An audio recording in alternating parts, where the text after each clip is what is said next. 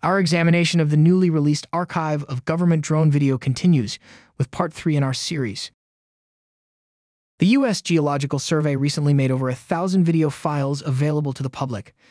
They were recorded by unoccupied aircraft systems between May and September 2018 during the four month eruption of Kilauea volcano on the lower East Rift Zone. Picking up where we left off, chronologically after the loss of Kapoho, most of the video captured at this time focused on the long lava channel, created by the dominant vent of the Puna eruption, known as Fissure 8. When this drone video was recorded, lava fountains from the fissure were still reaching over 100 feet high, sending a shower of molten fragments over the rim of the cone, building it higher day by day. At night, the glow from the fissure and its lava channel lit up the sky. The eruption on the East Rift Zone would end just a few months after this recording, and Kilauea would go quiet for over two years. Today, the community is still waiting for an appropriate Hawaiian name for this fissure to be made official. The Hawaii Board on Geographic Names is using community input to reach a decision. The proposal supported by Pi'ilani Ka'awaloa and her family is a leading candidate. This is the audio of her testimony at the most recent board meeting held virtually.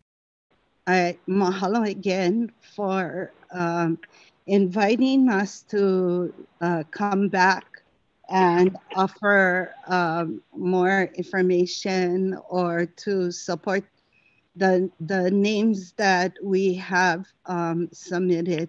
For me, I still stand by Ahu Aila'au and um, for the purpose and the reasons in which um, the families of Lower Puna, the families from within the area, um, and our own personal experiences um, with regards to the event itself and how it it came to be. My personal experience is a lifetime of being around the lava flow, having our own home spared from the lava flows from 1970 to present for me, we saw the difference in regards to um, the lava itself and how the lava erupted. Um, this particular eruption was more um, aggressive, more um, intense, you know, comparing to previous eruptions. Um, taking into account also um, the things that the geologists had mentioned of the lava being a lot older than the more recent lava flows. And so um, when we came together as a community, members of the community whose families um, can trace their genealogy back um, you know, multiple generations because our families were born and raised. We didn't come from another district and, you know, move into this. This is our families were born and raised in Lower Puna. Uh, when we came together, we, you know, we literally discussed what we saw, what our Na'au was telling us, what what the you know the things that we were kilo kiloing. And i hate to say kilo kiloing because that's not an appropriate way of lelo we saw that this was indeed um, at first the initial eruption wasn't pele and therefore we went in and we you know I, I'm pretty sure, like everybody else, you know, we went into prayer, we went into Pune, um, we, you know, asked for more guidance, more vision, um, more, you know, closer, in depth observations. Over the course of time, more of the visuals became apparent to us that this eruption was indeed um, Aila'au. And then later on, it meant, you know, we were able to see the pairing of both um, Pele Aila'au. And so when you look at, you know, um, Mo'olelo, when you look into our history, um, Aila'au wasn't, you know, um, written literature. It didn't paint him to be um, as compassionate. One, Mo'olelo states that, you know, he ran away uh, upon hearing um, the arrival of Pele. But um, many of us in Puna, we felt that that wasn't the case.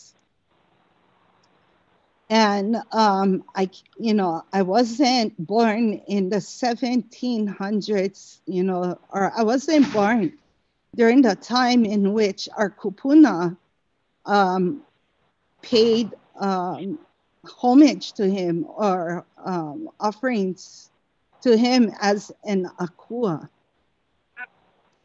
But um, I, you know, I did um, go and look, and I believe it was in the book of Kapo'eo Kavakahiko um, or Kapo'e Kahiko, um, and I, if I'm not mistaken, it was page 83.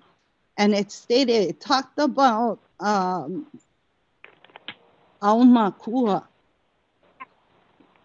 And in there, it said, it mentioned um, that um, families who worship um, Aila'au, and it mentioned his name. It didn't say Pele, it said Aila'au. That when their family members passed, their kino were wrapped in kapa and take it up to Kilauea Iki, in which they were laid and um, and um, placed into at that time had lava in the bottom of Kilauea Iki. And the kino of these Ohana members were placed into the lava and they became Aumakua of Aila'au. And so they became a part of that Pele, um, Pele Ohana. And um, when I heard of that, you know, there are a lot of things that were also happening. So during that time, I also came across a member of um, this family, and um, he is also named Aila'au. That's his. That's his Inoa Hawaii is Aila O, and it all happened during this time, and I was, you know, you can only say coincidence, coincidence, coincidence. But if all of these coincidences are happening at the same time, to me, I don't think it's a coincidence. Um, I see it as a ho'ailona.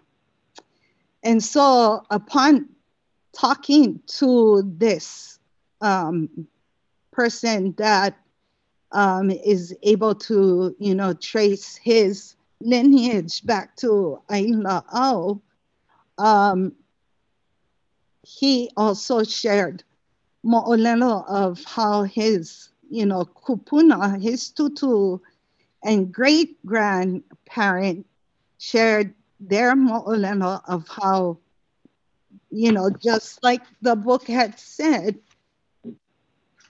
that their Ohana used to practice that. And he shared he is the last of his family to carry that name. And his tutu um, told him that after his after him, there is to be no one else called or to be given that name Aila'au within their family. Um, and so he thought that that was um, interesting that upon him returning home here to the Big Island, that this eruption had taken place. In, in our history and in our culture, that I don't want that to be the last thing that is remembered of him, of Aila'au. Yeah. I want us to be able to haku new mele, new mo'olelo, to share a different story about, you know, his awakening. You know, maybe he, you know, I don't, like we say, many of us didn't feel that he ran away but he he knew that you know Pele came to to continue and she was much younger. He was older. I don't know. That could be a new mo'olelo but to be able to continue this traditional practice of storytelling in our own way utilizing this inoa um, ahu aila'au. The next meeting of the Hawaii Board on Geographic Names is set for March 2nd. The naming of Fissure 8 is on the agenda.